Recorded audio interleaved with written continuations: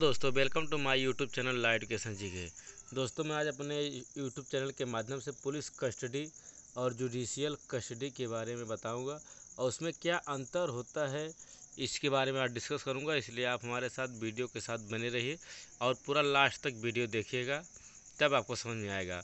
Police custody और judicial custody दोनों शब्द एक जैसे ही लगते हैं, लेकिन बारीकी से अगर अध्ययन करें तो इसमें अंतर, काफ़ी अंतर साफ़ साफ़ नज़र आता है। किसी आरोपी व्यक्ति को पुलिस कस्टडी और जुडिशियल कस्टडी में भारतीय दंड प्रक्रिया संहिता सीआरपीसी के तहत हिसाब से रखा गया है। पुलिस कस्टडी और जुडिशियल कस्टडी दोनों में संदिग्ध कानून को हिरासत में रखा जाता है। जैसे कोई व्यक्ति अगर संदिग्ध है तो उसको या तो पुलिस कस्टडी या तो जुडिशियल कस्टडी दोनों में संदिग्ध तौर पर रखा जा सकता है। दोनों प्रकार कस्टडी का उद्देश्य व्यक्ति को अपराध करने से रोकना हो। जैसे कोई अगर व्यक्ति अपराध करने वाला हो या कर रहा हो तो उसको रोकने के लिए ही पुलिस कस्टडी और जुडिशियल कस्टडी लागू होती है यह सी के अंतर्गत आती है। जब भी पुलिस किसी व्यक्ति को हिरासत में लेती है, वह अपने जाँच को आगे बढ़ाने के लिए सीआरपीसी की धारा एक सौ सड़सठ के अंतर्गत मजिस्ट्रेट से पंद्रह दिनों तक के हिरासत में रखने की समय मांग सकती है। जैसे कि जब कोई अपराध हो जाता है और अपराध के अंतर्गत अगर आरोपी जो मुलजिम होता है, वह कोर्ट में जाता है तो उसका मजिस्ट्रेट जो है पंद्रह दिनों के लिए उसको हिरासत में रखने का समय मांग सकता है। यानी उससे पूछताछ करने के लिए सी आर सीआरपीसी की धारा एक के तहत मांग सकता है। एक न्यायिक मजिस्ट्रेट किसी भी व्यक्ति को पंद्रह दिन तक किसी भी तरह की हिरासत में भेजने के पावर रखता है। लेकिन कुछ ऐसे कानून होते हैं जिसके तहत पुलिस किसी आरोपी को तीस दिनों तक भी पुलिस कस्टडी में रख सकता है। जैसे महाराष्ट्र संगठित अपराध नियंत्रण अधिनियम उन्नीस सौ निन्यानवे के तहत पुलिस कस्टडी को तीस दिनों के लिए रखा जा सकता है। जैसे आपसे कोई पूछे कि क्या तीस दिनों तक कस्टडी में रखा जा सकता है तो हाँ आपका दीजिएगा कि महाराष्ट्र संगठित अपराध नियंत्रण अधिनियम उन्नीस सौ निन्यानवे के तहत पुलिस कस्टडी तीस तीस दिनों तक रखी जा सकती है। हालाँकि ऐसे कई प्रावधान जो अवैध गिरफ्तारी के खिलाफ सुरक्षा भी प्रदान करते हैं। यदि किसी की गिरफ्तारी दंड प्रक्रिया संहिता के सेक्शन छियालीस के अनुसार नहीं हुई है तो उसकी गिरफ्तारी वैध नहीं मानी जाएगी। जैसे अगर छियालीस के अंतर्गत उसकी गिरफ्तारी नहीं हुई है तो अब वैध नहीं होगी गिरफ्तारी। पुलिस कस्टडी क्या है? आइए हम इसको पहले समझते हैं कि क्या होता है पुलिस कस्टडी। जब पुलिस को किसी व्यक्ति के बारे में सूचना या शिकायत या रिपोर्ट प्राप्त होती है तो संबंधित पुलिस अधिकारी अपराध में शामिल संदिग्ध को गिरफ़्तार कर लेती है, जिससे कि उस व्यक्ति को आगे भी अपराध करने से रोका जा सके। जैसे पुलिस को जब जब कभी भी सूचना मिलती है कि कोई व्यक्ति अपराध करने वाला होता है या कर दिया होता है, उसको रोकने के लिए ही पुलिस उसको गिरफ़्तार करती है।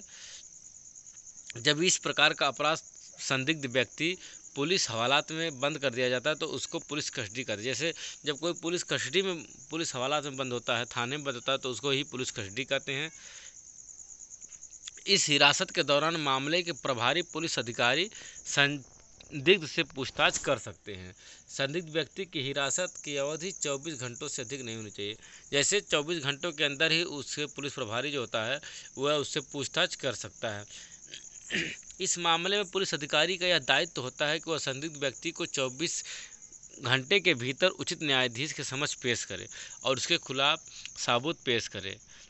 यहाँ पर यह बताना आपको बहुत ज़रूरी होता है कि 24 घंटे की अवधि को, उस अवधि को नहीं जोड़ा जाता है जब पुलिस पुलिस से, कस्टडी से लेकर स्टेशन कोर्ट तक जाती है तो उस अवधि का खर्च उसमें नहीं जोड़ा जाता है, बाकी जो होता है, वह जोड़ा जाता है। अब अब बात करते हैं हम जुडिशियल कस्टडी आखिर जुडिशियल कस्टडी का क्या अर्थ होता है? जुडिशियल या न्यायिक कस्टडी का मतलब है कि व्यक्ति को संबंधित मजिस्ट्रेट के आदेश पर जेल में रखा जाता है। जैसे जिस मजिस्ट्रेट के समक्ष अपराध होता है, वह उसको कोर्ट में रखने का आदेश दे सकता है, जेल में रखने का आदेश। ध्यान रहे, पुलिस कस्टडी में व्यक्ति जेल में नहीं रखा जाता। हाँ एक बात और है कि पुलिस कस्टडी में व्यक्ति को जेल में नहीं रखा जाता है, लेकिन न्यायिक कस्टडी में पुलिस को जेल में रखा जाता है। आपने सुना हुआ कोर्ट ने फला आरोपी व्यक्ति को चौदह दिनों की जुडिशियल हिरासत में भेज दिया है। यह कोर्ट की कार्रवाई होती है। आइए हम पुलिस कस्टडी और जुडिशियल कस्टडी के अंतर को समझते हैं। एक एक पॉइंट से।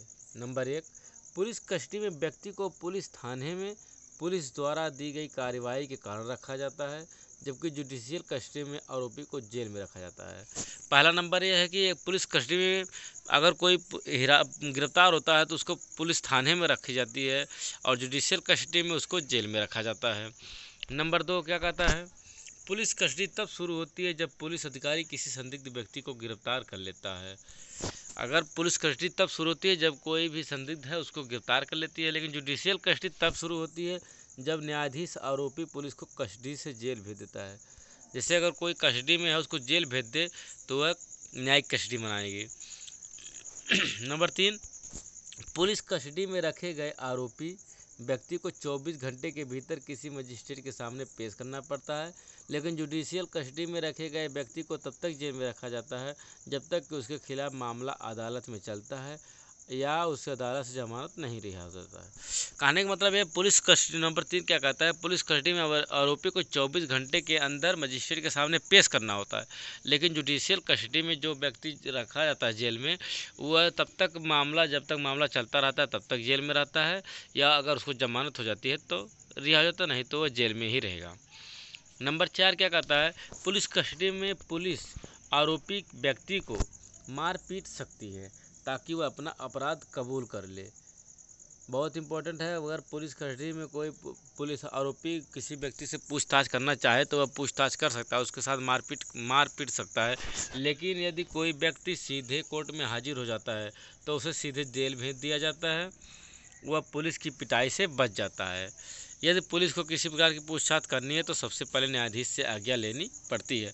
मतलब अगर कोई अपराध करके, कोई व्यक्ति अपराध करके सीधे कोर्ट में हाजिर होता है तो वह पुलिस उसको मार पीट नहीं सकती है। वह अगर उससे कोई पूछताछ भी करनी है तो सीधे न्यायाधीश से आज्ञा लेना पड़ता है। हालाँकि उसके जेल में रहते हुए पुलिस उसके खिलाफ सबूत जुटाती रहती है, ताकि सबूतों को जज के सामने पेश करने के आरोपी को साबित करके अधिक से अधिक सजा दी जा सकती है। पुलिस कस्टडी की अधिकतम सीमा 24 घंटे तक होती है, लेकिन जुडिशियल कस्टडी में ऐसी कोई अवधि नहीं होती है। जैसे पुलिस कस्टडी में 24 घंटे से ज़्यादा आप नहीं रह सकते हैं, लेकिन जुडिशियल कस्टडी में ऐसी कोई अवधि नहीं होती है, जब तक चाहे, जब तक उसकी जमानत नहीं होती या मुकदमा नहीं ख़त्म होता, वह वह उसको रहना पड़ता है। नंबर छः क्या कहता है? जो जमानत पर रिहा अपराधी होते हैं वैसे मामलों में आरोपी को पुलिस कस्टडी में नहीं भेजा जाता और पुलिस कस्टडी तब तक ही रहती है जब तक कि पुलिस द्वारा चार्जशीट दाखिल नहीं की जाती।